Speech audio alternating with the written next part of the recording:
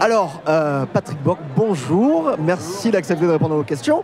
Euh, alors, première question, quel, quel, euh, quel doublage vous avez préféré faire dans toute votre carrière?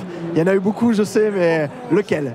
J'ai pas, j'ai pas eu de préférence. Disons que il y a des personnages et des comédiens que je double depuis longtemps, donc automatiquement il y a un attachement qui est différent parce que bah parce qu'on voit l'évolution d'un comédien euh, euh, tout au long de sa carrière et, euh, et voilà c'est toujours sympathique de suivre quelqu'un dans des aventures différentes comme David Boreanaz dans dans Buffy contre les vampires, après Angel, maintenant Bones et d'autres comme Michael Gaston qui était dans Les Mentalistes et tant d'autres séries que je double aussi régulièrement. Donc voilà, c'est toujours intéressant de, voilà, de doubler des,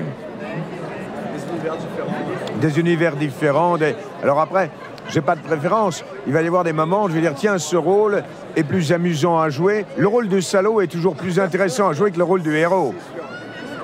J'ai vu aussi, euh, en, en farfouillant un petit peu dans tout ce que vous avez fait, vous avez doublé des voix pour StarCraft. C'est possible. le- euh, comme je... Alors voilà, des jeux vidéo, j'en fais plein. Euh, je ne me souviens pas des, des- titres forcément parce que j'en fais régulièrement et qu'il y en a beaucoup.